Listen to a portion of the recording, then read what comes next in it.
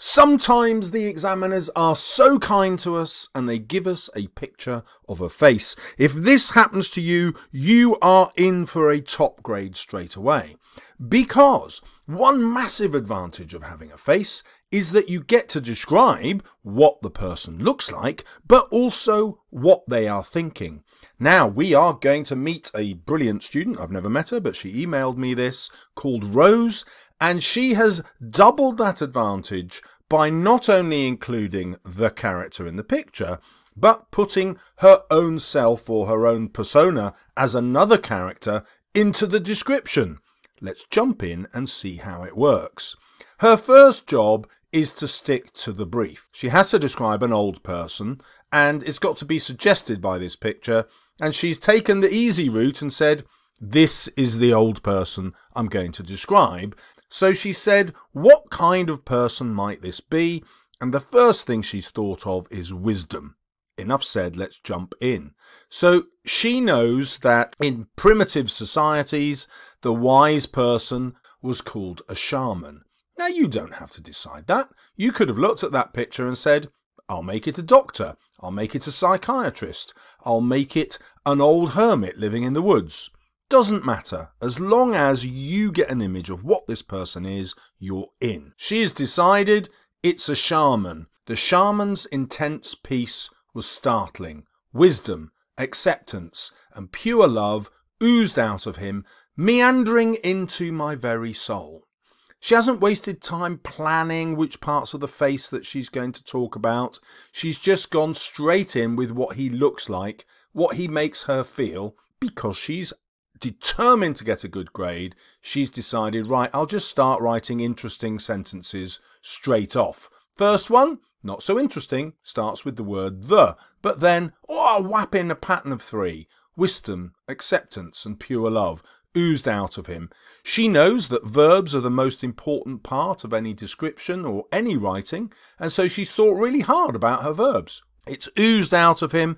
That works really well. Meandering into my very soul, maybe not quite as well, but it does give us an image of her slowly changing because meandering is a slow verb. Again, she's jumped to a new way of starting a sentence. Scrupulously, I examined him. Now notice that's what she's doing to the picture in the exam, and rather than worrying about it, she's just used that experience, put it straight into her writing. Well done, Rose. Deep-rooted marks on his face bore witness of experience and battles fought. Battles fought over the self and won. Now this is genius. She's thinking, what would a shaman be fighting against? She's decided that would be a battle of the mind, which would fit a psychiatrist if you chose that, and of course it allows her to write with a metaphor, again showing off a technique for the examiner that works in the writing. It's not just there to show off, it's there to make us understand the character even better. Brilliant. A winding, wispy beard, symbolising the flow and ebb of truth, confronted my past decisions. What's going on here? a bunch of language techniques that she's just throwing in.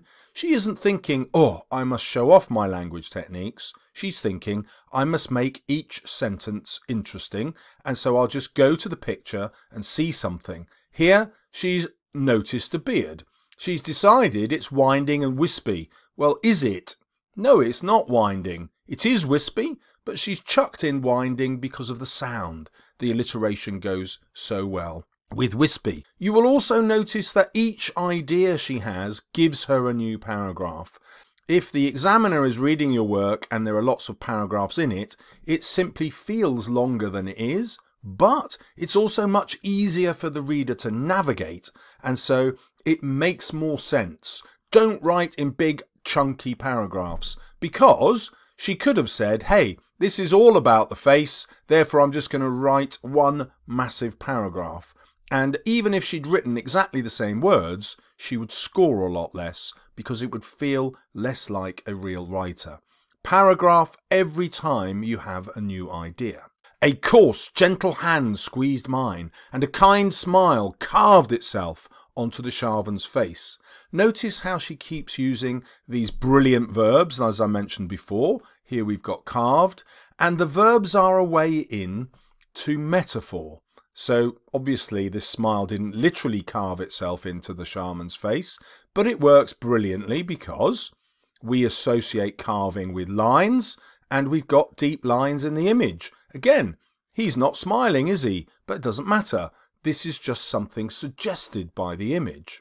Attentive ears stood out from his head. Having ears standing out from the head is one thing, but then making them attentive symbolise that he's not just listening to what she says, he's listening to everything he sees. And that idea is repeated here. Each whisker and hair sat still, so she's personified his hair and his beard as though he's listening to her with his whole body. Now that is a genius idea you can simply steal. Personify the features of a character's face.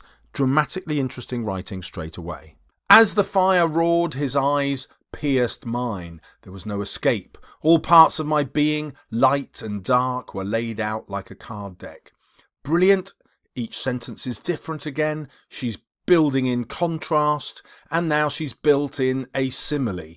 And the idea of it being a card deck is brilliant because it gives us the idea of chance, but she's also thinking of a tarot pack, and possibly didn't know the words for the tarot pack, and is thinking of destiny.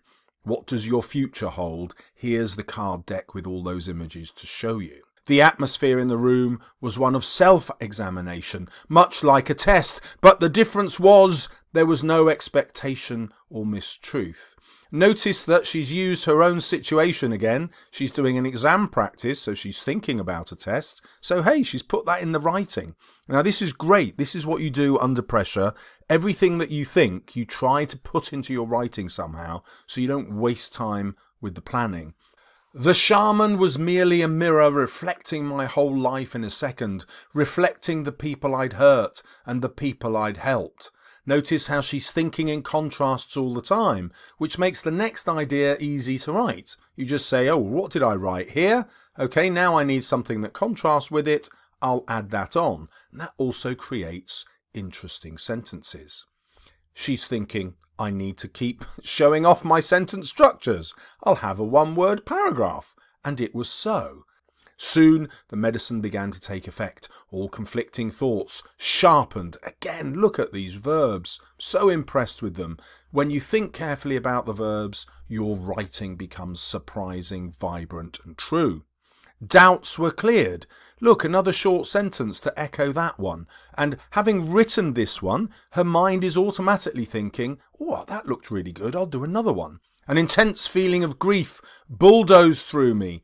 There we go, there's the verb again. I saw everything I'd ever done in my entire life return to me, each action wanting acknowledgement. This vocabulary here works with the idea of this silent figure, the shaman, just waiting for her to start thinking about herself in a different way. Yet before I became lost to regret for everything I'd ever done wrong, for all my imperfection, all my hatred, rage, deceit, lies, manipulation and indifference, love the list. And the list is also a brilliant way to show off her vocabulary and make sure that she's not using vocabulary in the wrong way. If you put that vocabulary into a list, it's really powerful. Always having a list in your description is also a really powerful way to make your writing interesting because you pack so much information into a small space. The shaman reached out a calloused, healing hand. It was a lifeline. Look at how she's echoing this idea of the short sentence, and it's a really cool idea to do that at the ends of paragraphs. Also thinking about sentence variety, she has decided to have what I call the long show-off sentence. This is 34 words long and it includes the list. Notice the list doesn't finish the sentence, but is inside it. In slow motion, I watched his chest expand heavily, his gaze rise to match mine, and his lips part to say one last message. Notice because she's in the habit of writing a list sentence, she's repeated that idea of a list here. It's got three parts to it. She's cleverly ended her piece with only one bit of dialogue. Throughout this, the character of the shaman has been silent. It is a moment to moment choice we all have to make. Will we choose love or hate. This is brilliantly crafted, and I imagine it's a sentence that Rose already had in mind. She's probably just borrowed it from a film or a book. It's not cheating, it's brilliant.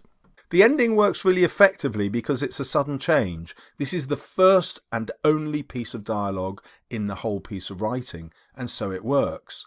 But can you see how having a character has allowed her to write so much more, not just a description of what she's seeing, and then placing herself as a character with this character has also allowed her to write so much more. Go back and see how she's used what's in the face as a springboard to write about not just what she's seeing, but the character themselves. And then give it a go because this question was from 2018 and it's very likely that you will get a character's face this year.